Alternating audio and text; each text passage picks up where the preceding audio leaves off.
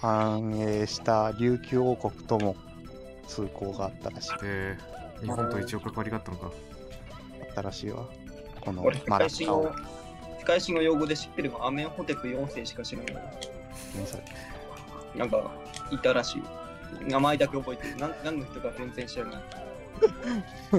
アメンホテプ4世。セリヌンティウスみたいなやつがいたことしか覚えてない。アレクサンダー、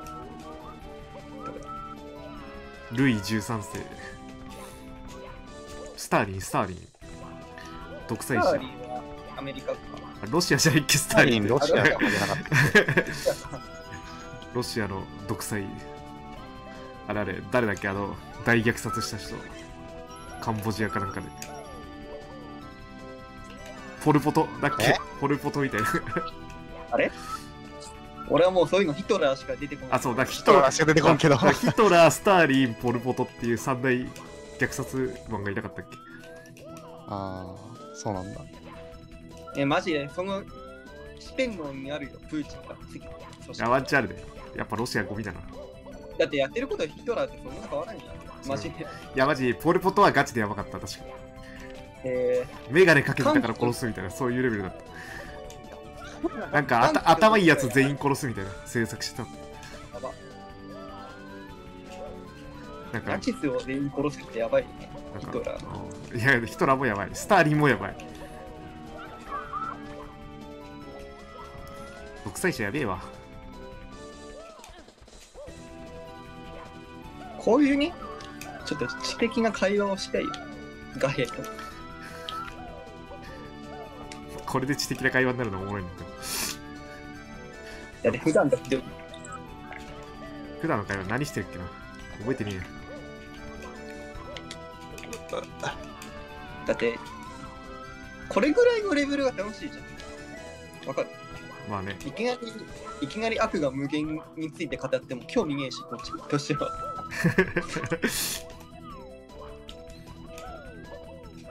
無限っていうのはね、やめろ なんか、朝を、朝に聞いた記憶あるんですよ。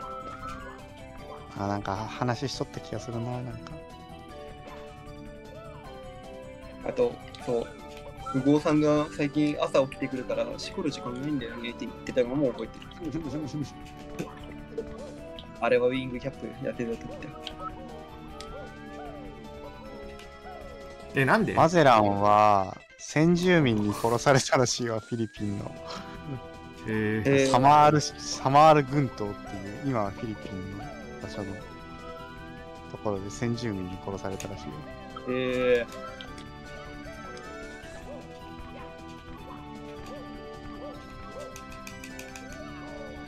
危なっ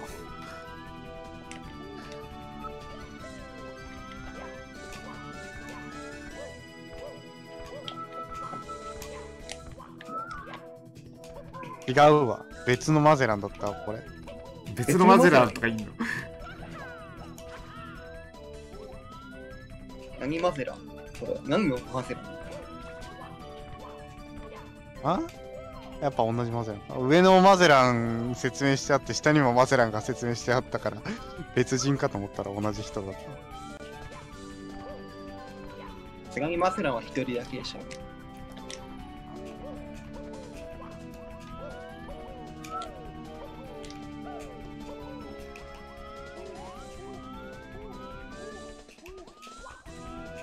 ィリピンのマクタン島でラプラプと交戦して戦死したって書いてある。わかるか？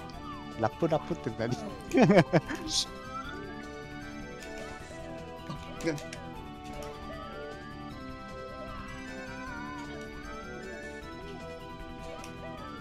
球が休憩であることを証明した。あっちってさ、歩いてる時には当たらないよね。あ、あのーよ、なんて、壁に対して。あああ、そうだね。ジャンプしないと、まあそうだよ。れの仕様なんでなのと思うなんなんだろうな。壁としての判定になるからですね。あでマリオがその、衝突どういう意味なのかわからんけどね。わからんな、でも確かに。